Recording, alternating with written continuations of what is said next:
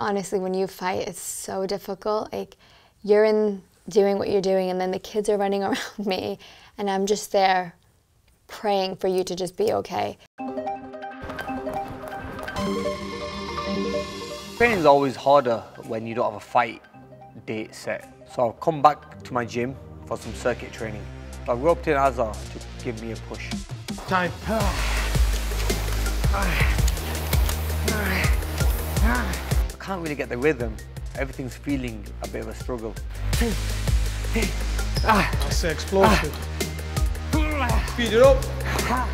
Eight, seven, six. Power punches, uppercuts, and hooks.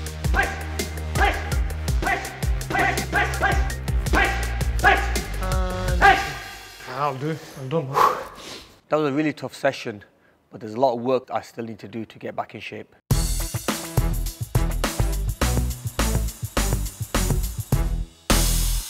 So my first world title was this one, the WBA, and this was against Kotelnik.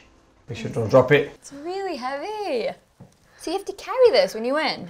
Yeah, you know when you Wow. win, you have to put it around. I think you should walk around like that, Bolton. Hide my belly now. Before I used to have all my trophies and belts underneath the bed. I didn't know where to put them. I used to put them in suitcases. I used to just leave them on the side in my bedroom. And then you never appreciate it till Faryal made me that frame. And you, when you see the belts there, you think, wow, this is what I've achieved. Let me show you the Olympic medal. It's quite heavy, isn't it? It's heavy. Let's see. That was nice. Your whole family was there cheering you on.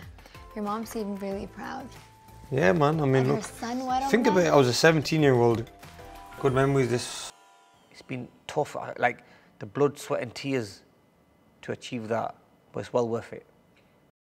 Remember when Muhammad Ali ran with the torch? Muhammad Ali ran with the torch. Ran with the torch. The Bolton one. Not Bolton. I ran in. I ran through Bolton with the torch. I ran through the Bolton town mm-hmm. with this one, and I lit it. So how did it feel running through like Bolton with the torch and all your fans like cheering you on? Yeah, it was the best feeling ever. But at the same time, I was getting a little bit tired because holding that torch for about half an hour, running for ages, I can my arms were like getting knackered. It'd be nice to be back in the ring again. It's been a long time, and the kids are growing up now as well, so they'll be interested in watching the fights as I well. would never let the kids watch. I'm not too happy that Amir wants another fight, but I need to think of what he needs and what he wants. And I need to tell him how I feel, but at the same time, I don't want to feel selfish. I think I always wanted you to retire, but at the same time, we have to support you in whatever you do, and you know, we have to motivate you. So even though it's something we don't want you doing, it's something you want to do. Boxing is what keeps me busy and keeps me occupied, and but when that stops, then I'll be lost myself as well. This is why I don't want to stop yet. You know what I mean? I still got, I've got the energy to have one or two more fights. What's the point in stopping now? It's not the money I'm chasing because uh, God's been kind and I'm, I'm, I'm, I'm okay. I don't have to ever work again.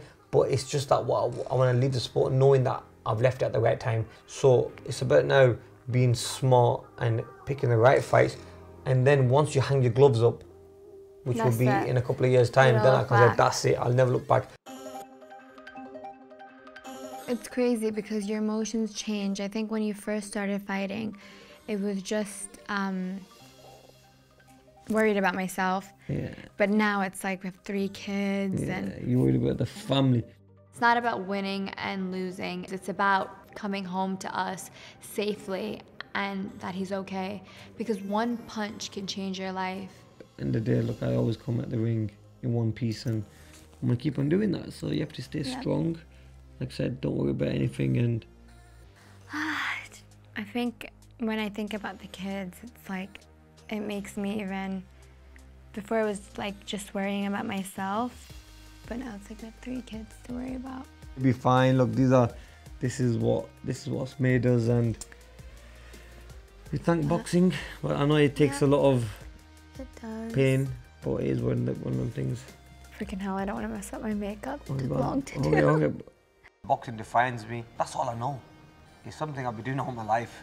I'll, I'll probably uh, still have my foot in the door, um, doing other things in boxing. But to leave the sport, I could never do that. I've seen other fighters in the past who have left the sport and never looked back. I will never be one of them because I know how much it's helped me. It's made me the person I am. So it'll be very mm. emotional. But look at that, those achievements, I mean, that's everything that we've worked hard for. So I can't just let go of the sport like that, man. Maybe get another couple of belts up there. Hmm. Looks a bit empty up there, so I might have to get a few more. I'll call you a day after that. It's okay. I'll always support you in whatever you do. I know that.